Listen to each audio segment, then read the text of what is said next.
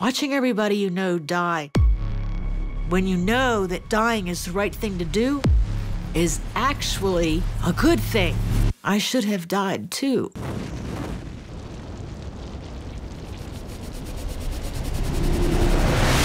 The morning of the raid, the local media had been tipped off. A news person got lost and had asked my dad if they knew where Mount Carmel was and told him what they were doing.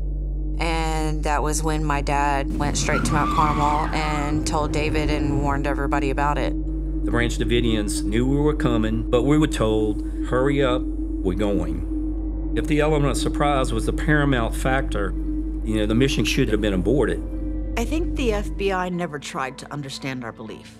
I think the FBI tried to figure out what tactic they could use against a group of people that they thought were crazy. They didn't have any idea that everyone in that building had complete and utter devotion to doing God's will before man's will. And that meant we were not coming out. David walked in. He said, I want everybody to go back to their rooms just be calm, and I'll go down to the door and talk to them. My kids were already getting up, and the next thing I heard was the yelps of the dogs as they shot the dogs.